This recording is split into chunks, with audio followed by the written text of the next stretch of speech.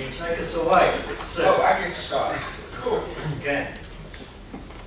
Well, welcome everybody. So for those of you who don't know me, I'm Alan Foster. I'm the president of Kantara at the moment and have been for a few years now. And this is the second in our series of these workshops that we've had this year. So we had the first one September 10th. Uh, September 11th. A very Yeah, auspicious important day. We had September 11th in Seattle, um, where we went through this. We've got this one today, and then we've got the next one in December 11th, 13th, um, going to be in Singapore. So really it's the world tour that we've got around here. And the 12th, okay. and it's been, it's been a really interesting sort of voyage teaming up with Coventry Cole in terms of looking at the consumer identity. This is one that Kantara is quite heavily involved in and very heavily invested in. And so during the day, I'm going to hand over Colin in a second and, and sort of go through things, but during the day, the purpose that we're here is so that we can try and share with you guys what we're doing um, and, and engage in discussion. And so, you know, we've got some panel discussions up here, we've got various people who are going to be giving um, uh, some presentations, ample time to ask questions, to talk about things. Um, that engaging conversation and, and having the conversation with us in here in the room is really why we are here. So I encourage that um, as we go through the, the, the sort of event and go through the day with the presentations.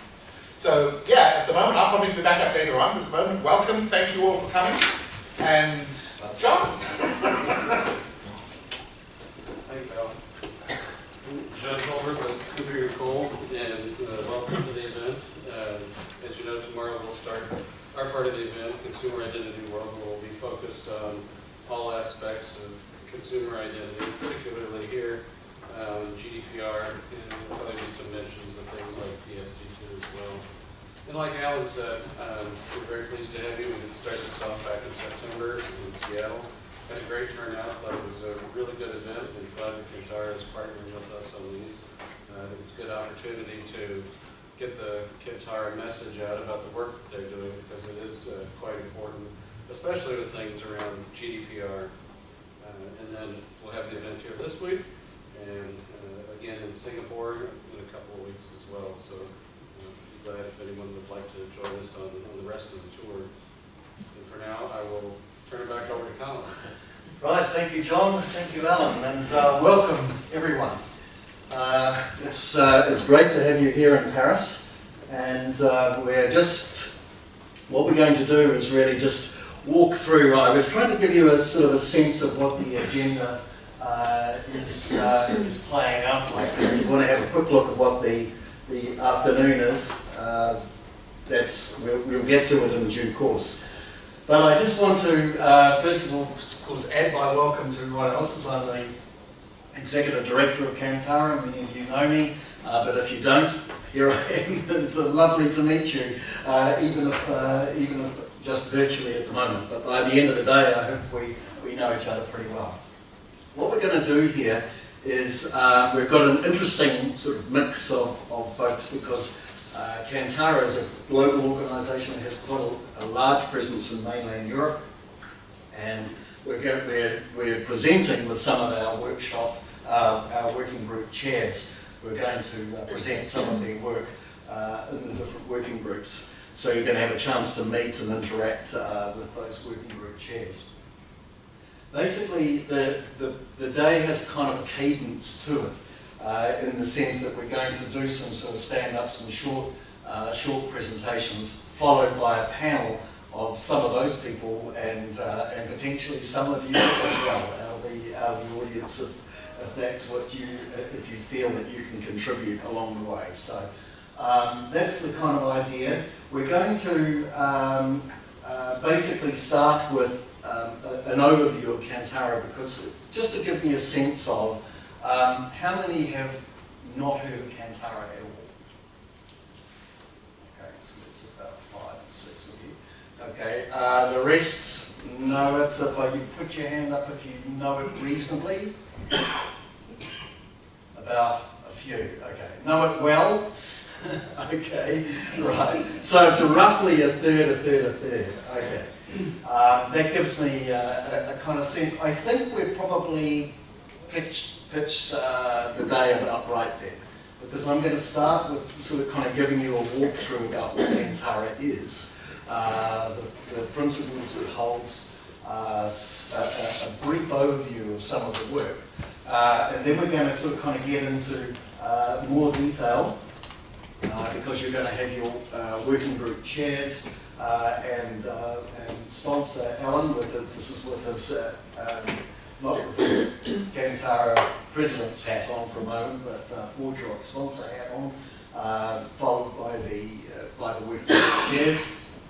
And Cornet Van Rouge has a, a special announcement which we've reserved for today. Uh, we're going to finish with coffee in around uh, an hour or 20, something like that. Uh, and then we're going to get into a little more detail there around the, um, some specifics that are actually coming from some of those working group chairs. It's almost a sort of a pivot to relating some of Kantara's working group, uh, working group work uh, into some of the things going on uh, in the EU. And we're going to finish then with uh, a sort of a board-facing panel. And we're proposing to finish, uh, get into lunch at around 12.45, something like that. Uh, then we're going to uh, move into the afternoon session. You'll see that we're going to open that up with uh, Joni Brennan, who's in the audience now, from DIACC, and Katryna Dow, who's not yet in the audience, but she's got other, other uh, meetings this morning in Paris. Uh, she's joining us in the afternoon from uh, and they're going to give us a sort of a, a, a um, different jurisdiction, different continental view of things. Of, of, that's why we call it postcards from abroad. A few things uh, that are going on elsewhere in the world. And we're going to have them up on a panel. That panel two there um, is really all about um, pulling together uh, some of those ideas um, with a sort of kind of a, you know, what's missing, what, what, need, what gaps need to be filled uh, in terms of the, the consumer identity access management offering as, it, as it's uh, merging, verging into today. So we're going to finish then around uh, 3 o'clock for coffee. Uh, the, the afternoon is really going to be, after the later afternoon session, is more specifically around vendor solutions. So uh, these are members of Kantara uh, who you know, both um, volunteer their time and effort to Kantara, but also, of course, they're running businesses. Uh, their businesses are, are, are, building and thriving on the, but as they consume Kantara's artifacts. So we're going to talk to you a little bit about what they're doing uh, in some of that space. Again, uh, around 4.15, we're going to have those folks uh, on a panel. We might add again to, we'll see how the room is shaping up at that point. We might add uh, other folks to the panel. Uh, in the, towards the end of the day, we're going to have almost like a group session about uh, what more can Kantara do uh, in, the, in the mainland EU area. What can we achieve in terms of uh, pieces of different work that um, might have come from the gap filling exercise that we could potentially get into because we have you know, the ability, the working group structure, uh, the publishing structure and so on to do that. So we wanted to sort of kind of um, get your ideas uh, in a sort of collective and collaborative way about uh, what new pieces of work need to be done, who could potentially do them, uh, who will pay for the work to be done. Uh, and we're finishing around about 5.30 quarter to 6 when we're going to be moving across uh, to the Cafe Lockwood, uh, courtesy of ForgeRock, uh, who's putting on some drinks and some nibbles there to, uh, to end the day with in a nice congenial fashion. So I'm just going to, any questions first of all about the agenda before I move on? Clear as mud? Now, of course, it sounds very organised, and now you're going to find out that we really are making it up as we go along. um, actually, now, and, and, this is the very first, uh, the first sense of that, because I just, uh, because I just see, thanks, Because I just see, the next thing is uh, that um, we, I should have uh, brought a sign-in sheet, which I do have. Uh, so I'm going to take this and uh, start At the front, you should have that in your last Yeah. Thank you.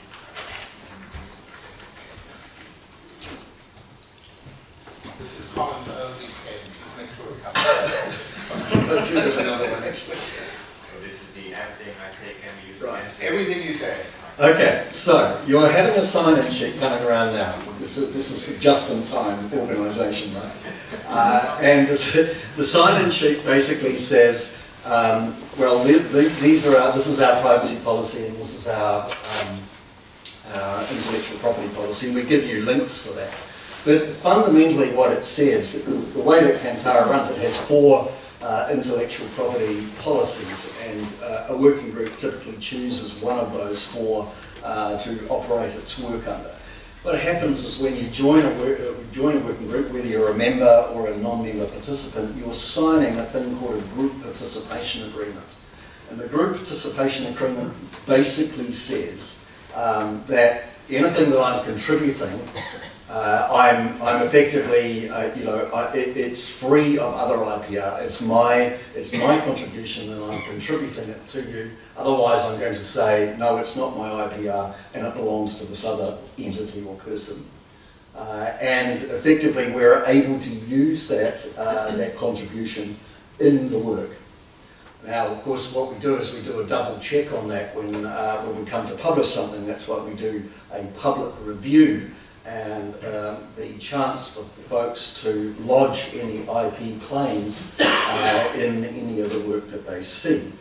But the, the issue that we've got when we have these kinds of um, group discussions here is you've got a whole bunch of folks that haven't signed a group participation agreement uh, who may contribute from the floor, and we would love to do that. But we want to be really, uh, we want to have it, make it really clear in your mind that as you do that, right, unless you tell us, no, this is not my IPR, please do not use it, or this is my IPR and we don't want you to use it in any way, shape or form, we won't write anything down, uh, then we basically need to know that. Otherwise, we're going to make the assumption that if you are shouting it out from the audience, that you're uh, expecting it to be noted, consumed, and otherwise, you know, taken into the work. Okay? So uh, that's the way that we're going to, uh, but that's the, basically the way that we run these, uh, these meetings. Um, and uh, we, we try to run them almost like an extension, if you like, as a, an extension of a, of a typical working group meeting. So moving along then, I just want to give a little bit of a, a, a context here because as we get into you know the whys and wherefores of Kantara, we really want to start with that sort of scene setting. You know, what's the, what's the domain? Well, the domain that we're in, of course, is digital identity and personal data and the transformation of that. We're in this industry. Uh, we're, we're either uh, consumers or, or suppliers to this, uh, to this industry of consumer identity management uh, and personal data.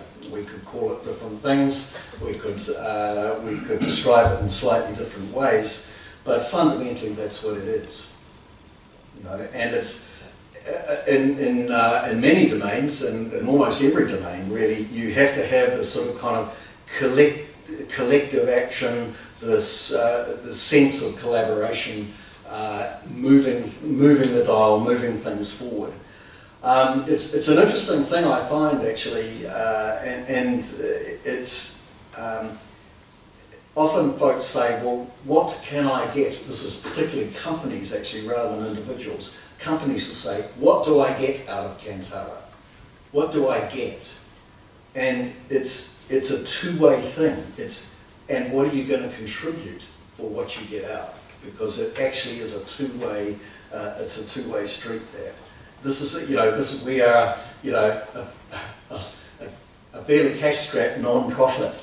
You know, we're not a global corporation. You don't get everything out. It's not a one-way, one-way traffic. It's, it's a, it's a two-way street where you contribute as much as you put in. So for Kantara itself, of course, um, what does uh, what does what does this mean? Of course, many of you, many of you have uh, you may have seen the uh, the Kantara logo, and of course, Joni was in the audience, was here when this was uh, uh, this was produced in 2009. And it, you can see there that it's a little stylized. What, what do you think those that little? It's a. It could be a rainbow. Does anyone sort of sense what those uh, what those little? Perhaps if I bring it back to much a much bigger one, hang on a sec. Much bigger on the left hand side. So you could call it various things, but that little stylized sort of half loop thing is actually uh, intended to mean bridge because Kantara is in Swahili, African languages, Arabic, Arabic down through Central Africa, Swahili means bridge, wooden bridge. And in fact, this name was for Kantara was um, was given to us, uh, contributed to us by Nat Sakimura of uh, NRI, also chairman of the Open ID Foundation. So it was Nat's name, of course, Nat being Japanese, his, his parents were uh, diplomats and he spent uh, most of his childhood uh, in Africa. Uh, and he learned to speak quite a lot of the language. So that's how uh, the name Kantara came to be, wooden bridge. Everything we do is done in a set of, uh, in, in a process of collaboration and doing things together. So, what are the things that we do? And, and one of my Twitter, if you follow me on Twitter, I'm apt to say quite often, others talk, we do.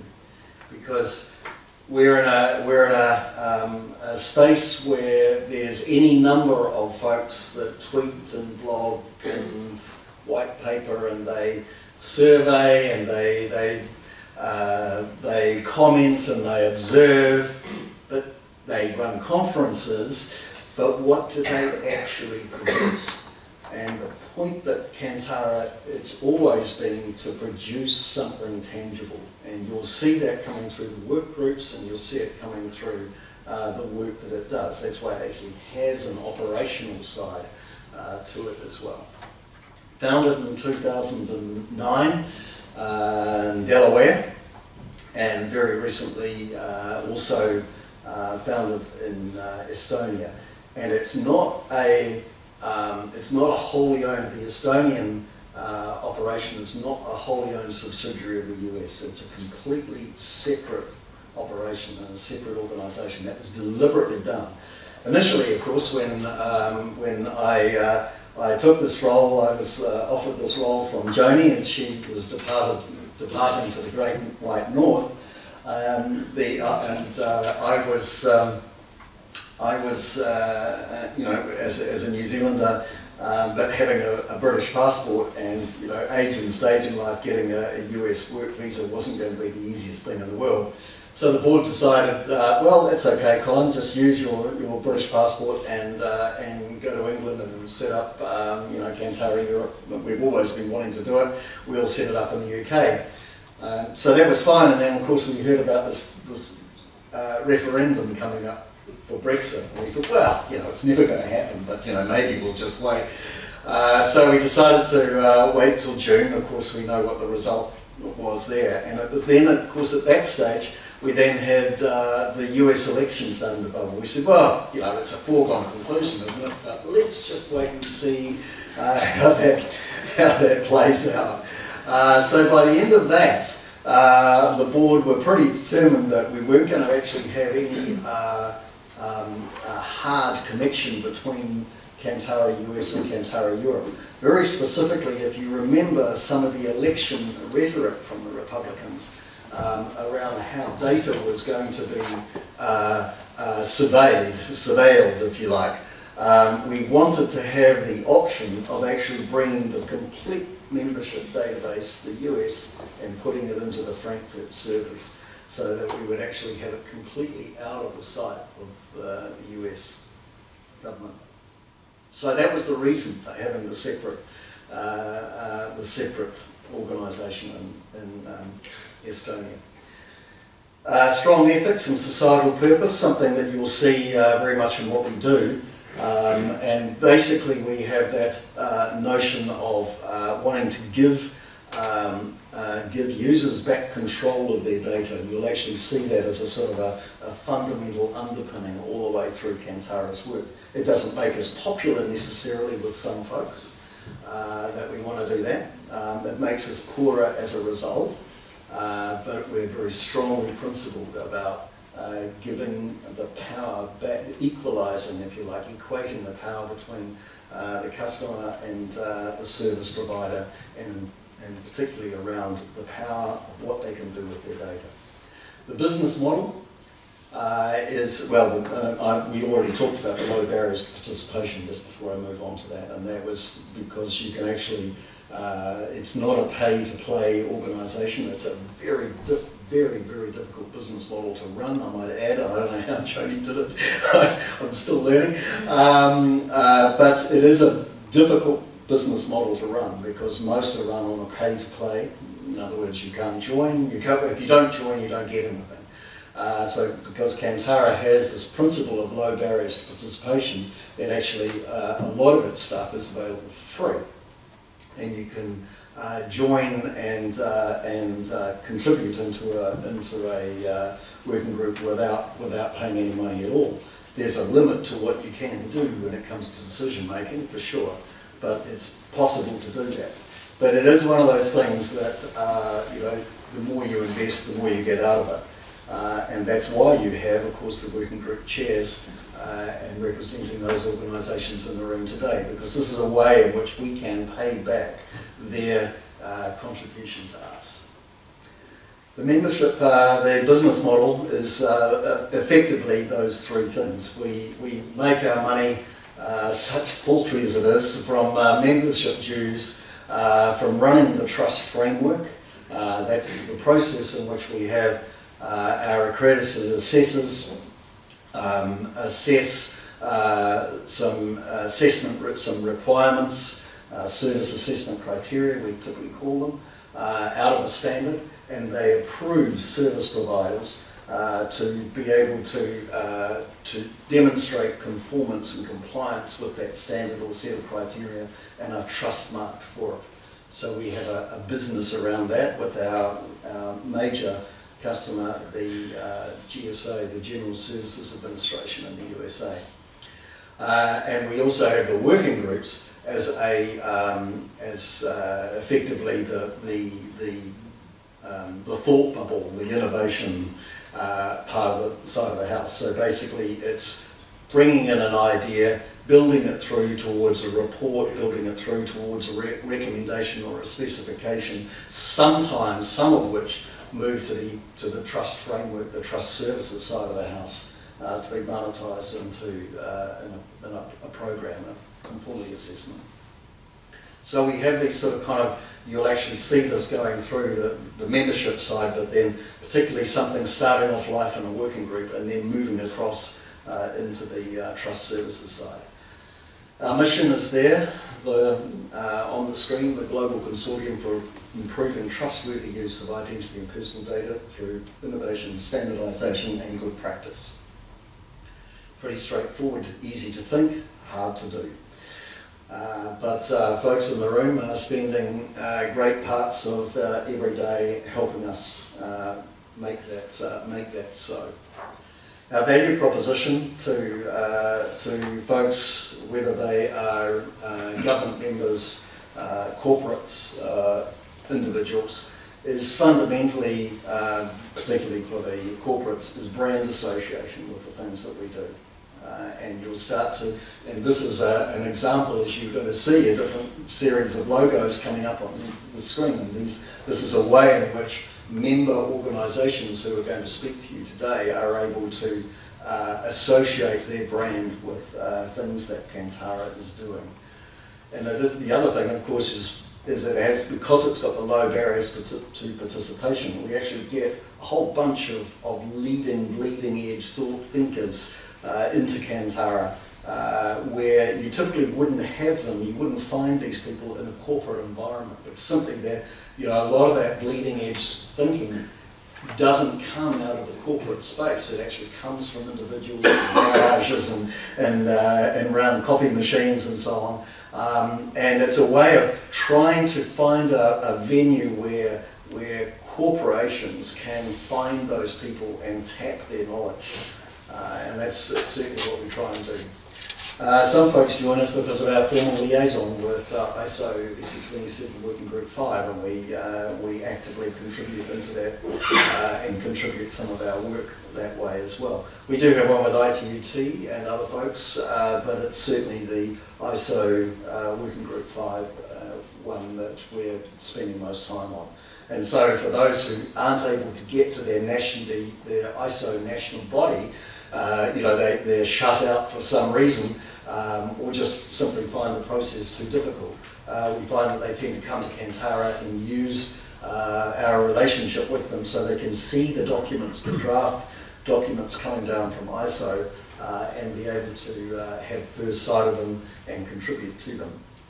So, and we have this, you know, this mix of thought leaders, individuals and organisations, as I've said. Uh, quick snapshots, not all our members, but it's a quick snapshot of, uh, of what's there, and you'll sort of kind of see a real mix of, of small and large, uh, of identity folks, uh, of um, personal data folks, uh, some of whom you're going to, you're going to hear from today. So these are probably, I, have I've chosen three, but we've got a lot of other uh, work as well that you're going to see on the next slide. But these are the things that we're best known for. Uh, um, certainly in the standards and specification space is UMA. Uh, often UMA is, uh, is mentioned, um, as it is in the UK often, without uh, any attribution to Kantara. Uh, but that's where the, the standard, that's where the standard lives, that's where the work is done. Uh, and um, it's, it's basically the only game in town when it comes to uh, access, user-managed access control. You, you, in Europe, we tend to think of XACML doing that, but XACML is a corporate, centralized, uh, very um, yeah, it's, it, it's, it's a, an industrial kind of way um, of uh, managing access, which is not really user-driven at all. Uh, and UMA is really the only game in town to be able to do user-managed delegated access, and that's uh, and it's built of OAuth. Um, and of course, the, one of the things, if you know OAuth quite well, it's it's a it's a two-party two-party sharing construct. Uh, and basically we've created, we've extended OAuth to make it multi-party. Uh, we're going to talk a little bit more about UMA and I think uh, we might be, uh, we're not going to be joined by Eve Maler who's been uh, championing uh, UMA and the work as the chair of the, of the UMA working group. We're not going to be blessed with her today but we are going to be blessed with Justin Richer uh, who's uh, going to be, who has done a lot of work uh, for UMA, done a lot of work for Kantara generally actually with the, um, with the consent receipt uh, machine readable work as well.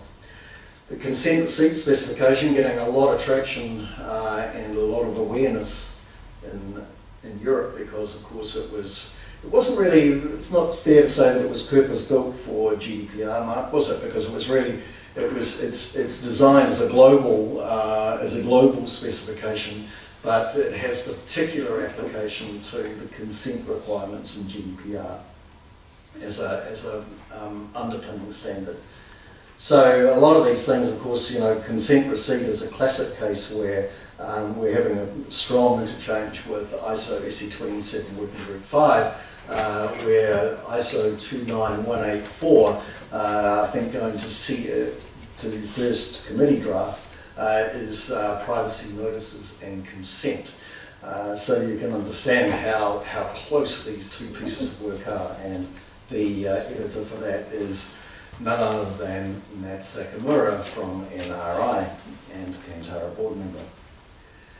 Uh, the third and uh, last but certainly not least is Kantara's trust framework operations. I put in the two logos, uh, the two trust marks there for accredited assessors, one of whom is going to speak to you today, Nixu. Uh, is, uh, Nixu is an accredited assessor for Kantara in Europe, uh, and Kantara, the approved logo, is the um, is the trust mark that uh, service providers get once they're assessed against a particular uh, set of criteria. But there are more, and you're going to hear a little bit uh, about some of these uh, as we go on during the day, because we have representatives of some of the working groups in the room. Uh, we certainly have eGov, we have IRM, we don't have a uh, Federated Interop Working Group um, uh, rep to talk on the, uh, the implementation profile that we're doing with the higher ed space. Uh, we don't have anyone on smart um, on blockchain smart contracts. I'm, I, I can't attribute, at least in public, uh, where this uh, where that quote came from, um, but it was someone very very well known in the USA in the federal space. Uh, and uh, it, it, was, it makes interesting reading actually, uh, the blockchain smart contracts report and uh, we've actually, it's, it's uh, for several months, it, it, topped our list of downloads because we're counting the number of people that download our, specifications and, uh, and reports. So um, I'm going to take you through a, a number of lenses here we do this. Um, into ways in which you could look at Kantara stuff. One is that it's sort of kind of a nurture, develop, operate. There's this sort of kind of cadence of, of bringing some work in, whether it's something that we've uh, brought in ourselves or it's something uh, that has been uh, sponsored in and, and an organisation is using uh, the Kantara um, development platform to take an idea through to uh, a report or a specification, or whatever it might be. Uh, and out of that, we build those standards and requirements uh, which in turn we turn into assessment criteria to operate uh, a trust framework around.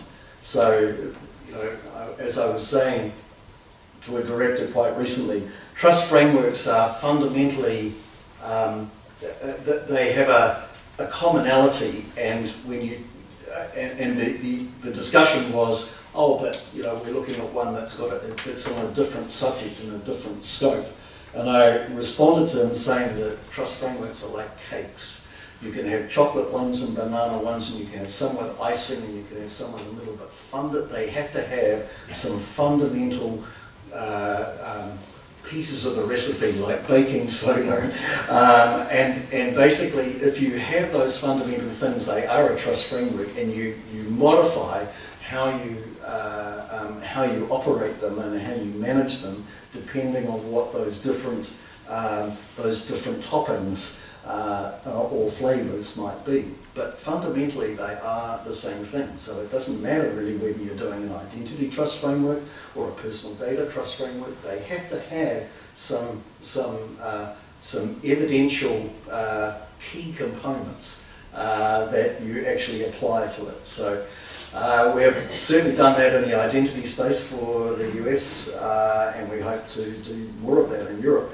One of the interesting things, of course, is that um, you know the the uh, certification that we have to uh, the authorization we have to operate trust framework for the GSA is different from the one that um, we would have to have if we were going to operate it for uh, gov.uk Verify, which is different again from the one that we would have to have if we were going to operate it for EIDAS, which is different again from the one that we would have to have if we were operating it for the uh, uh, Digital Transformation Agency in Australia. So one of the hard things for a non-profit in this sort of kind of space is there are just so many different uh, um, uh, sets of criteria and hoops to jump through that it does make it kind of frustrating at times uh, to, uh, to be able to offer fundamentally the same thing in various slightly different flavours, all costing you more money. Um, another way of looking at it is sort of kind of in this gear type scenario, um, that it's basically um, effectively we have this, this cadence of, uh, of um, working together building membership and, and liaisons and then applying a governance structure over the top to the work. So yeah, not unlike OIX, um, OIX has, I can see Susan and the, uh, she may disagree with me in the audience here. Um, uh, OIX uh, operates its white papers, its registry, uh, the Economics of Identity conference last week, which was very good, I hear. Um, but there's a difference perhaps with, uh, um, in terms of operating a service, and that's really what I wanted to sort of try and get to there. Another way of looking at it is, is the sort of kind of two-sided platform. It looks a little bit like the OpenID Foundation here, uh, because you know OpenID has uh, you know you can build various. There are various working groups um, that take the OpenID protocol and and apply it in different ways, and it does have you know a self self attesting uh, platform for uh, OpenID. Um, uh, interoperability and connection. So, you know, from that perspective, it, it's got some elements of the same thing, which is fine if you've got the OpenID protocol. But if you haven't got the, if, if you've got, if you arrive and say, I want to do something with another protocol or something with something different, then that in the OpenID Foundation is not the place to do that because they only work on the OpenID protocol. Um, so this is another way of looking at it, invent, refine and implement. And another way is really to look at the, the working groups um, in a continuum uh, through a program. And I'm trying to give you these sort of kind of thoughts here. And just as I finish off and uh, pass on. Uh, so once again, just uh, covering off the strong ethics, the community principles, the brand association, the centre of excellence. Um, I sort of kind of uh, wrapped those up, I think, in the last, uh, in my last few slides, so I won't uh, deal with them in any great detail here, except to say you've got to have them present if you're going to actually move some stuff forward, particularly as a you know as a uh, as a non-profit um, and uh, you know working with volunteer, uh, largely volunteer labour. I just want to uh, rest a little bit on uh, on Kantara Europe, still under construction. effectively. Um, it was uh, established in Tarnum uh, in January. Uh, it's, it's effectively is at the moment using it. It's, it's going to be in many respects look very much like the US. It's going to have a, a mirror of the uh, of the US website with uh, some things uh, changed um, and personalised. It's it's basically it operates um, to use the Kantara trademark and logo type uh, and all the artifacts. It does that through a license agreement uh, with Kantara US. Uh, it's, as I've already said, it's, uh, it's running servers in Frankfurt, uh, and um, it basically, in all, all respects, including the membership, uh, is, is fortunately at the moment the, the euro and the US dollar are, are so close that it just basically makes sense to, to make it the same, the same dollar or euro amount. Uh, we'll be um, announcing a little bit more about that uh, early next year. But one of the one of the thoughts that we wanted to uh, leave you with here, of course, is um, what else should Kantara Europe do? Uh, and you know, it's certainly we've been involved within two months of it being formed. We found ourselves as a consortium partner uh, for Project Magpie. We don't know whether we've been successful in that and an interesting, uh, an interesting twist. Uh, we actually find in Kantara members uh, that we have a whole bunch of other folks um, that are actually in, a, in an opposing bid. Uh, so, so it'll be interesting to see uh, um, which uh, which group wins that. but there's already agreement that there's going to be quite a lot of collaboration because the purpose for this consortium for taking Kantara Europe is because they wanted to use the development platform. Uh, it seems that from the other aspects, uh, from the other bid that we've seen that also makes up Kantara members, uh, was actually in their mind that they were going to use Kantara's platform if they won as well. So uh, whichever way, it looks like we were going to be uh, in there. So um, to at least help uh, with the, the doing side. Um, I just wanted to briefly kind of, I talked a little bit over those slides about how um, complement, overlap. Um, I, this is a, a very broad brush uh, attempt to try and show uh, where the, the overlaps and the gaps are across Fido, Kantara, Mobile Ecosystem Forum, uh, OpenID Foundation and OIX. Uh, and I just want to finish here um, to say, well, nurture, develop and operate. That's what we do.